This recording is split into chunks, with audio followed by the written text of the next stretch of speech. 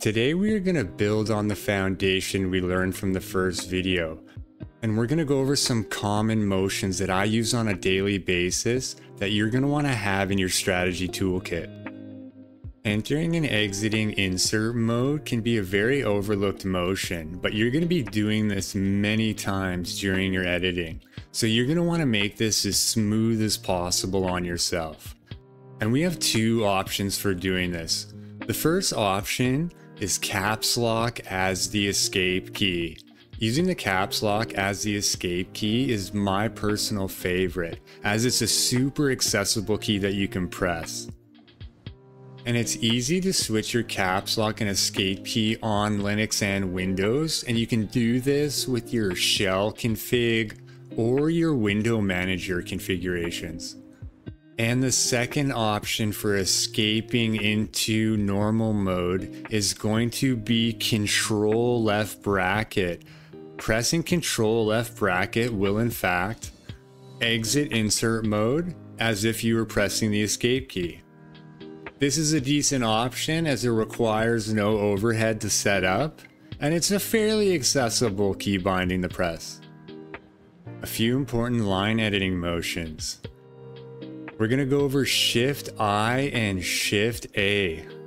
Shift I is gonna bring your cursor to the front of the line and Shift A is gonna jump your cursor right to the end of the line. And with the added bonus of being already in insert mode upon arrival.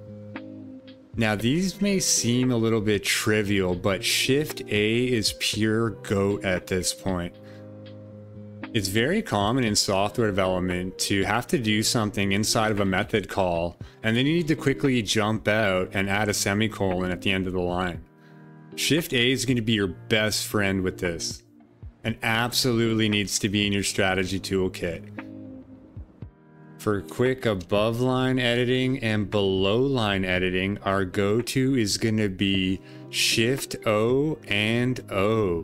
Shift O will quickly bring our cursor above the line for fast editing, and O will similarly drop us below the line for fast editing.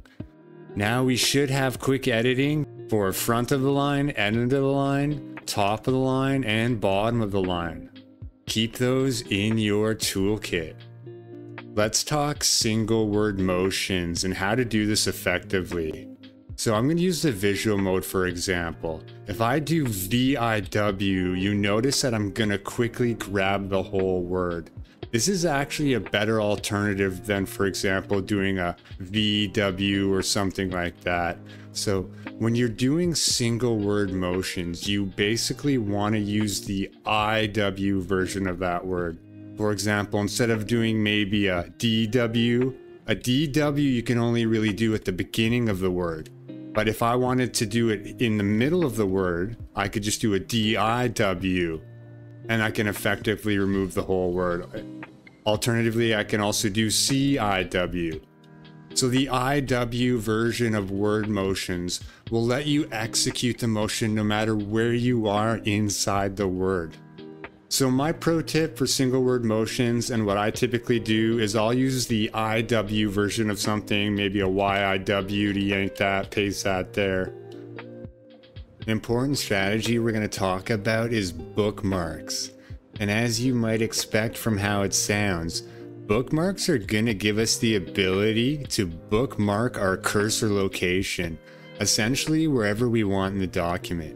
Now, this has become super useful because if you know that you're going to be going back to somewhere or you're going to be going back and forth between two points, you can easily set up some bookmarks between those. So to set it up, I can easily just press the M key and then I'm going to press a number or a letter of my choosing and I can go somewhere else and I'm going to press the M key again, another number or letter of my choosing and now if I want to jump back and forth between those bookmarks, I can press the tilde key that's left of the number one key, and then I can just press the bookmarks that I set to jump back and forth as needed. And if you have which key installed, you should get a nice little menu every time you press the tilde key. All right. Ever visually highlight something and then your finger slips and you lose what you just highlighted? Introducing GV. GV will lock you down on your last visually highlighted selection, letting you feel at ease as you continue to NeoVim. Pro tip, while in visual mode, you can press O to jump the cursor to the other side of the visual mode. Just press O while in visual mode. Now, if you want to travel between braces like a pro, you can easily just press the percentage key. And as you notice, my cursor is going to jump between braces.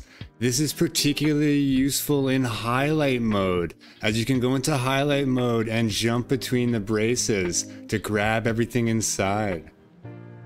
Alright, this one is also very useful. If I do a colon and go down into command mode, as you can see at the bottom of my screen, you don't get access to Vim motions while you're down here in command mode. Well, now you actually do. If I do a control F, you're gonna notice a little menu is gonna pop up. I can use full Vim motions in this menu to basically type out what I want to do. I can press enter and that's going to execute what's in the command mode. Another interesting one, using shift and left bracket and right bracket is going to jump your cursor on a continuous block of text. This is going to make you want to structure your code in certain ways because it's just so accessible to hold the shift key and press the left bracket or the right bracket to sort of jump up and down.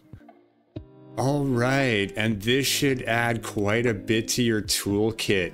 Take some time to go over everything, absorb, practice, practice. If you did find this information useful, please consider liking and possibly subscribing.